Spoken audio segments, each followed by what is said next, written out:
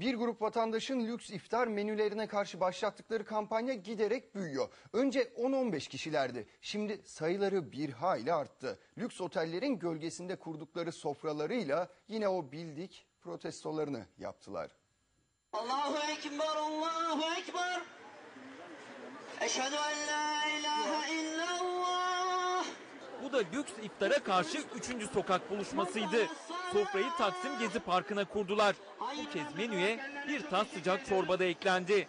Bir de sanatçı ziyaretçileri vardı. Açlığımızı dindirmemiz için önümüze sofralar serdi. Kardeşlerime destek vermeye geldim burada işte e, e, açtan ölen insanlara verilen desteğe destek vermeye geldim. Her buluşmada aynı mesajı veriyorlar. İsrafa karşıyız diyorlar. Zaten sofraları da çok mütevazi. Bir yudum su, bir parça pide, bir kaş da zeytin. Hayatımızı saran bu israf çemberini sana kul olma çabasıyla kırmayı nasip eyle. Bol vurgulu pankartların altında lüks bir otelin dibine serdiler sofra bezini. Son protestoların artısı tencerelerde kaynayan sıcak sıcak çorbaydı. Neler söylemek istersiniz acaba? Ee, maalesef şu an şu an yoğun. Şu an sonra.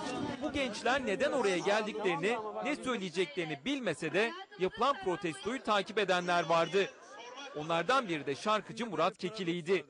Destek için geldi. İşin her tarafı yarın çok lüks bir otelde de şeye davetliyiz, iftara davetliyiz.